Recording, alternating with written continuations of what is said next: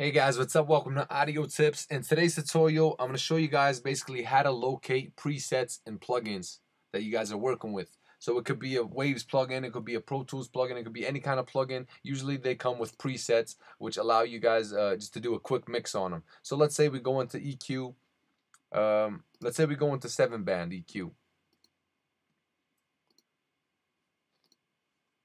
Once we open, this is a Pro Tools plugin. The reason I went to this because everybody's gonna be able to relate to this. If I open the Waves plugin, some of you guys might not have that Waves plugin. But like I said, guys, every every plugin usually has presets. And over here, as you guys can see, it says preset up here.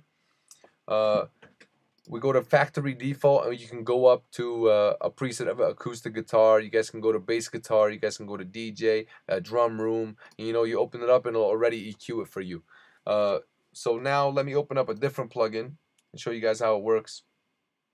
Let's basically go to the C6, whatever.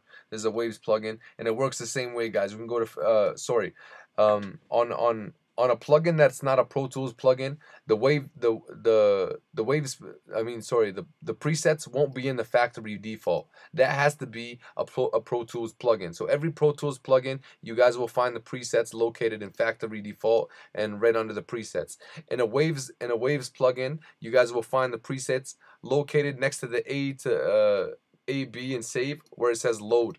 You guys will click load and it'll go down. You guys will see the presets down here, mastering, AB, vocals, drums, and all that. You guys can click, let's say, let's just say a vocal male, male dialogue, and it'll change the whole the whole uh, plugin into a preset. Uh, so that's basically it, guys. I just want to show you guys how to locate these presets in case you guys are doing a quick mix on your session. And uh, hope you guys learned something new today. Um, hope you guys benefit from it. Uh, thank you guys for watching so much, and please subscribe.